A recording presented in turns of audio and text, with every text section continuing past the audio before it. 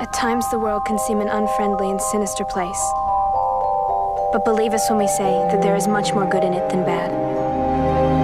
And what might seem to be a series of unfortunate events may, in fact, be the first steps of a journey.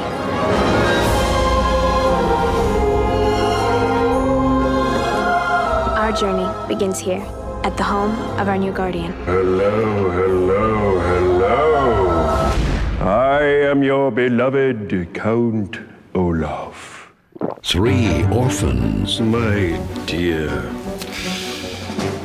Violet. an unscrupulous guardian, All I ask is that you do each and every little thing that pops into my head while I enjoy the enormous fortune your parents left behind. We're very concerned. Now on DVD. Based on the series of best selling books, you're invited to discover This way to the reptile room. a